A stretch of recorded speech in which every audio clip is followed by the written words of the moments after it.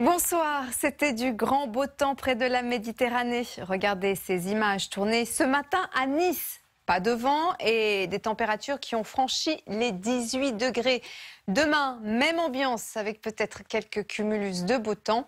Euh, le temps est calme car nous avons des conditions anticycloniques sur le pays. Mais en cette période de l'année, les hautes pressions ne riment pas forcément avec du beau temps. En effet, nous conserverons encore beaucoup d'humidité au sol, ce qui va se traduire par pas mal de grisailles au nord. Quant aux températures, ça ne bouge pas.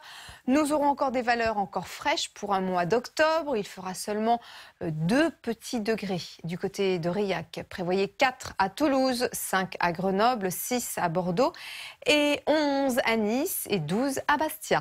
Euh, demain matin, nous retrouverons, comme aujourd'hui, un temps calme avec euh, de nombreux bancs de brouillard et nuages bas sur une grande partie du pays, alors que le sud de la France profitera de conditions beaucoup plus ensoleillé. La façade atlantique échappera également à la grisaille matinale. On notera du Mistral qui soufflera faiblement jusqu'à 50 km/h.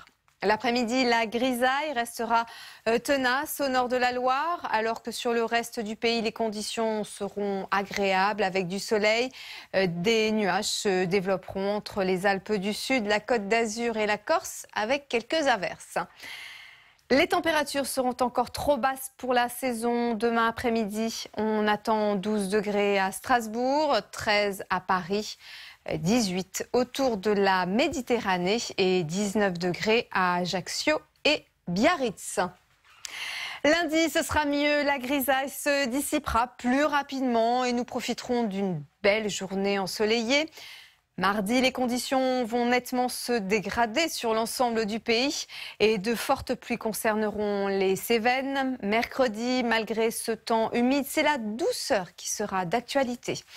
Ensuite, euh, regardez, poursuite d'une météo très perturbée et agitée, alors que la Méditerranée euh, retrouvera un temps plus calme avec euh, des températures qui n'évolueront pas beaucoup.